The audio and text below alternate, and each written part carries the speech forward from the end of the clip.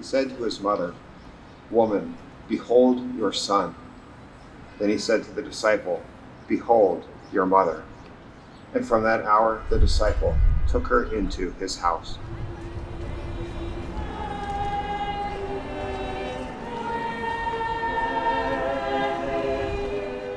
I thirst. There was a vessel filled with common wine, so they put a sponge soaked in wine on a sprig of hyssop and put it to his mouth. When Jesus had taken the wine, he said, It is finished. And bowing his head, he handed over his spirit.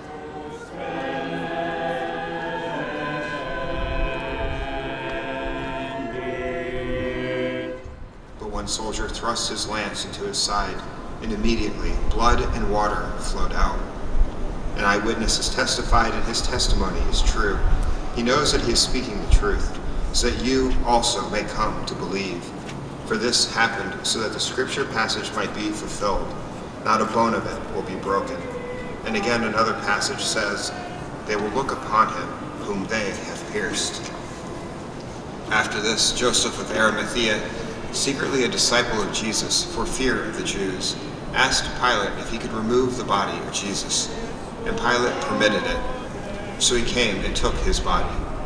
Nicodemus, the one who had first come to him at night, also came bringing a mixture of myrrh and aloes, weighing about 100 pounds. They took the body of Jesus and bound it with burial cloths along with the spices, according to the Jewish burial custom. Now in the place where he had been crucified, there was a garden, and in the garden a new tomb, in which no one had yet been buried. So they laid Jesus there because of the Jewish preparation day, for the tomb was close by. We're reminded of St. Paul's words to the Philippians, in which he states that our citizenship is in heaven. In other words, we're not made for here.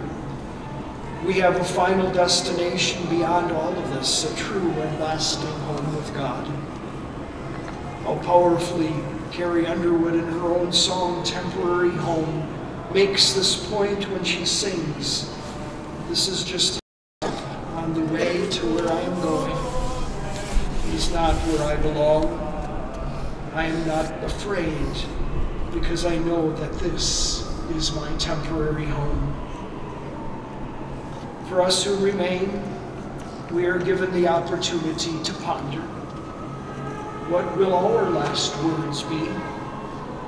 From where might they be spoken as we leave this temporary home? And will we be at peace with God? Now is the time for us to think deeply and to prepare well.